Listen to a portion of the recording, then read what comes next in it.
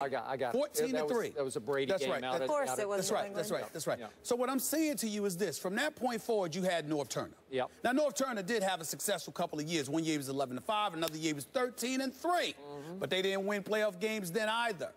Somewhere along the way, from an organizational perspective, from a structural perspective, something is missing with the San Diego Chargers.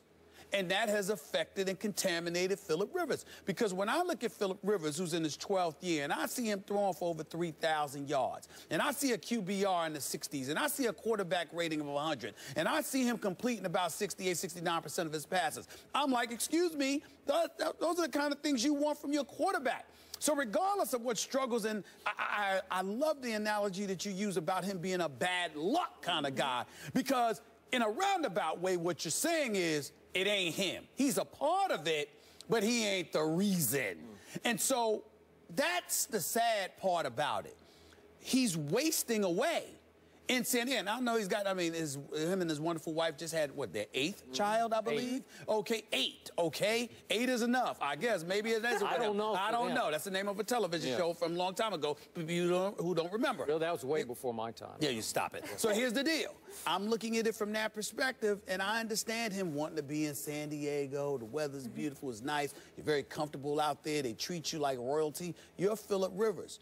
But if you want to win, he might be better. I know he's got a no trade clause in his contract, new four year deal, I believe, mm-hmm. before the season. Yeah.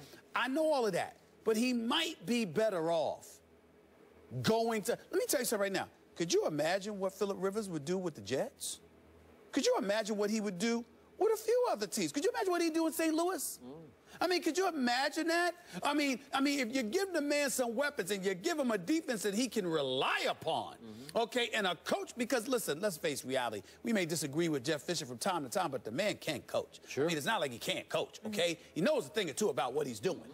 I, I, you know, listen, we can't knock him because he's making decisions bigger than football. Mm-hmm. It's about his family. But strictly from a football perspective, I think San Diego has proven they're not worthy of him. Mm.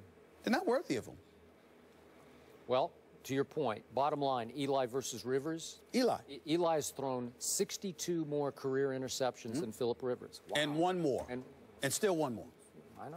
It's unbelievable that trade even happened back in the day. Moving on, Kevin Durant returns home tonight to play the Wizards. How should the fans greet the soon to be free agent? That's the discussion on the other side.